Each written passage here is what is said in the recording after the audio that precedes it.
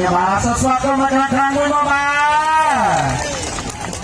បាទតែសូមវិកប្របាទផ្លឹកបដោបាទសិល្បៈវប្បធម៌ផ្នែកអង្គរបាទគណៈទទួលសេវាកម្មគ្រប់កម្មវិធីតែម្ដងបាទដូច្នេះជាពុកម៉ែបងប្អូនបាទពីវិទ្យាបាទពេញចិត្តជាមួយបងប្អូនបាទផ្លឹកបបាទបាទ